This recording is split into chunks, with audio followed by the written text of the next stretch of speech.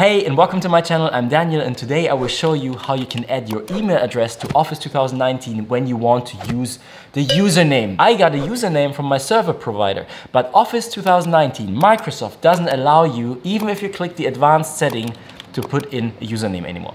But I have a solution for you and I will show you today. I use Windows Pro and if you go to the control panel, you actually find an email setting that is still the old email setting. And with this one, you can add email addresses and even usernames like you were used to in all the other versions from Outlook. And if you add your email address here, you can still see it in the newer version as well. So this is the workaround, super simple, super easy. If you get any problem setting up your email address, in my case, for example, I had to change the port for my STMP, the outgoing email server inside of the settings, but then everything was working fine. And here it's the old window, you can use it like you were used to before, you can put in your username, everything cool. So you see, super simple fix. This is how I solved the problem with Microsoft Outlook 2019. I hope they bring the setting back because I don't like this new wizard. This channel is designed to show the process of how I built my travel business. So stick around, I'm making videos every single day. And if you like this video, give it a like, hit subscribe, and bingle, bingle, bingle the bang. Uh, I mean,